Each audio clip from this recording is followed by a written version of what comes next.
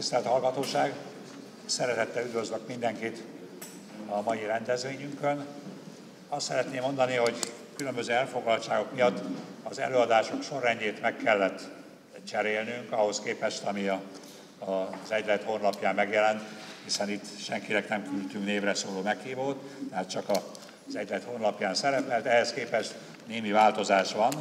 Tudnék, az első előadást Trócsányi László igazságminiszter úr fogja tartani, a másikat Patyi András úr, az Államreform Bizottság elnöke, utána egy minimális technikai szünetet tartunk, majd következik a két polgári perrendtartással kapcsolatos előadás, utána tartanánk kávészünetet, majd ezt követné további két előadást, tehát egy kicsit meg kellett cserélni az előadások sorrendjét a miniszter úréknak a közéleti elfoglaltsága miatt.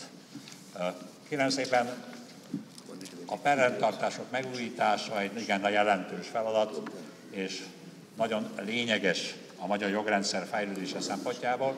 A mai napot ennek szentelnénk. Szeretettel üdvözlöm Trócsányi László igazságminiszter urat, illetve Patyi András urat, a Nemzeti Közszolgálati Egyetemnek a rektorát, és fölkérném Trócsányi igazságminiszter urat, hogy előadását szíveskedjék megtartani.